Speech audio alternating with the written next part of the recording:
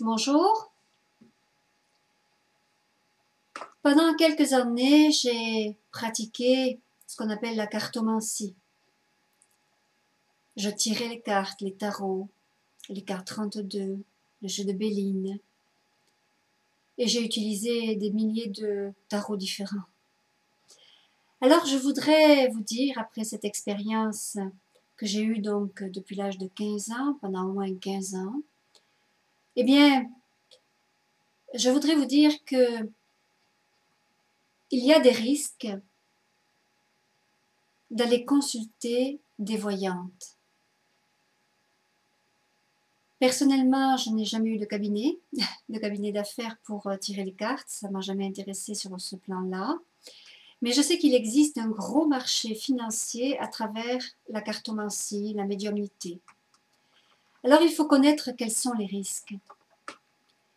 On peut bien sûr tomber sur des personnes qui sont malhonnêtes et qui vont abuser de votre argent. Certaines voyantes peuvent exercer une pression psychologique sur votre âme. Et puis vous allez au-devant de gros dangers pour votre équilibre psychique.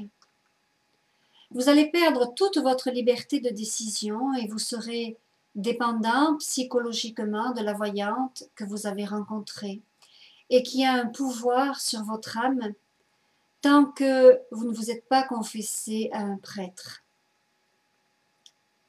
Vous courez aussi le risque d'être possédé par des esprits mauvais.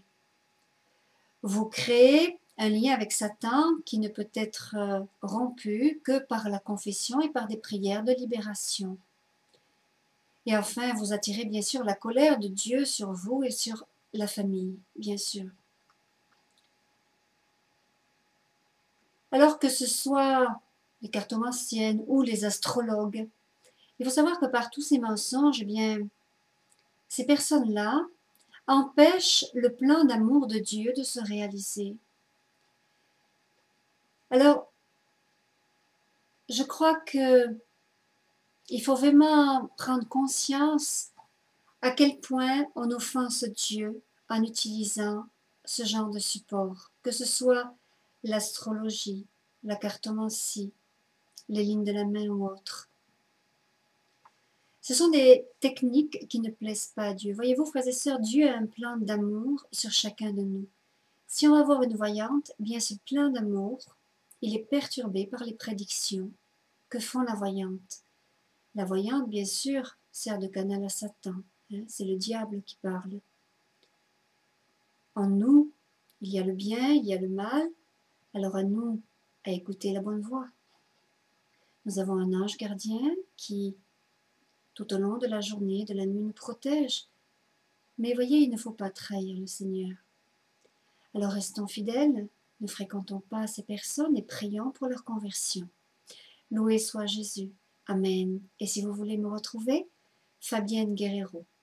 http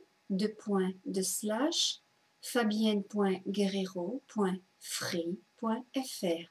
Loué soit Jésus. Amen.